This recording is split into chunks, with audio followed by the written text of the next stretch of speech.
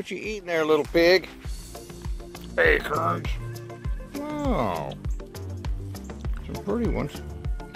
My favorite food. Well, what about all that grass? That's my next favorite food.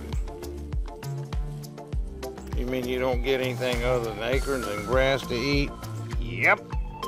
That's what I want. A little acorns and a little grass, huh? Wish you'd eat that dove weed. Take a look, see if we can get your acorns. See all them little acorns in there? Yeah.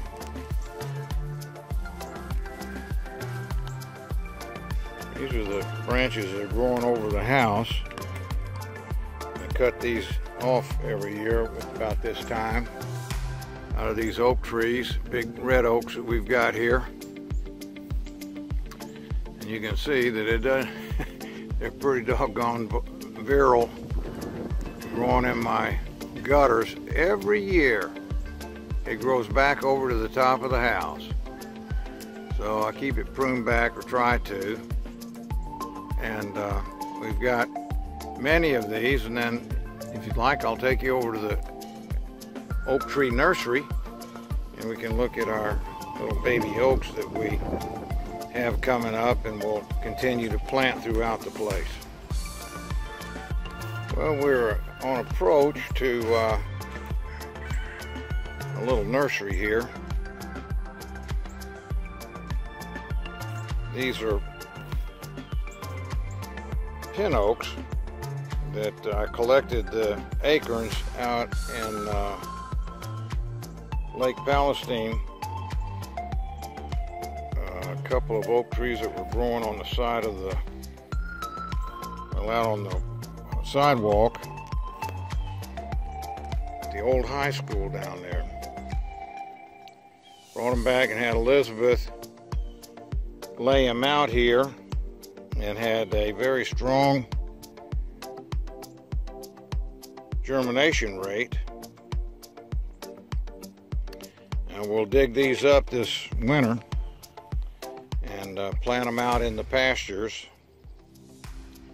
And the idea being is that they will grow up and give us uh, food for the pigs, for the cows, for the ducks which uh, frequent that out there. Maybe you can see the cows out there in the far south pasture now.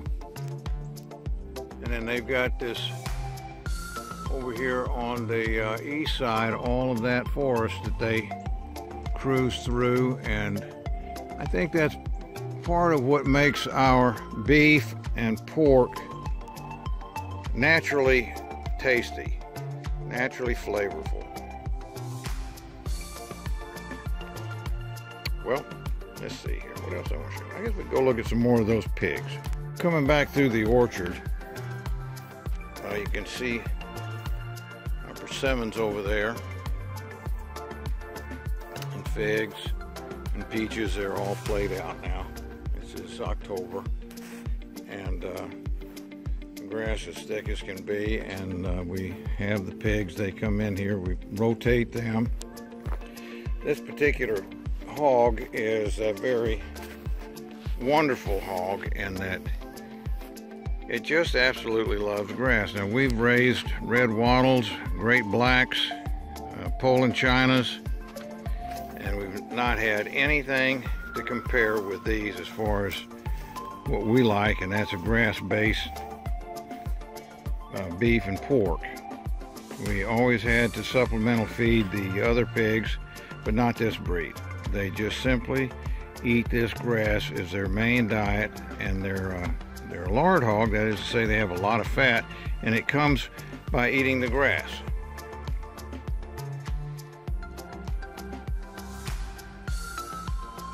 Ain't that something? Well, let's go see if we can see if anybody else will talk to us. She's got a bunch of babies in here. Maybe they'll come running out. We uh, rotate the pastures with this very easy to move hog netting. is uh, good for containment as well as for keeping unwanted predators at bay. We're in the paddock now. Over in the north field we can see our sheep. Again grazing on grass and there's buttermilk in there. Nancy's cart pony. And she's a good little uh, cow pony too. She's a Palomino Welsh pony. And over there's uh, colonies of bees uh, and the uh, Herefords and Red Angus cows in there, are mid, mid-sized frame and miniatures, as well as uh, the dairy cows. They all run together. And here's our pigs in the paddock here, eating grass. And uh,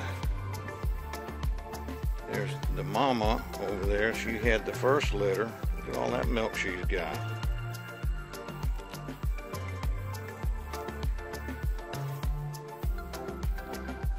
Piggy, piggy, piggy, piggy, piggy.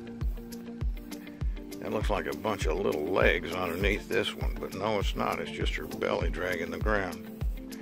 And there's our Muscovy ducks. Boy, you talking about a good tasting duck that is not fat, but all meat. That's our Muscovy duck crop.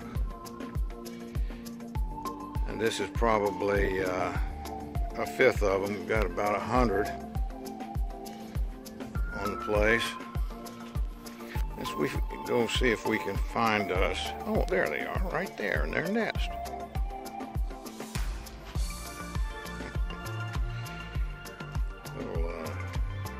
Size 8 shoe is what they are. Hey, y'all going to get up this morning? Hmm?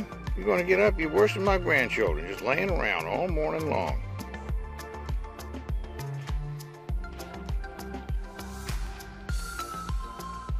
Boy, they shoot around this place. One of the things I like about these little things, um, be they uh, mama or boar, is they don't run off, they don't tear things up. In fact, the ducks are a bigger nuisance, nuisance than the, the hogs are. Oh, you're going to talk for a little while now, huh? And as friendly as they can be. Whoops. Whoopsie. Come on.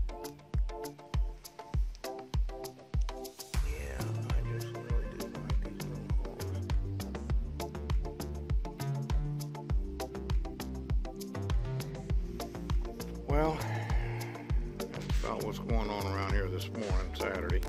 I've got uh, to go get some firewood up. Looking forward to another wonderful sunny day on Falster Farm.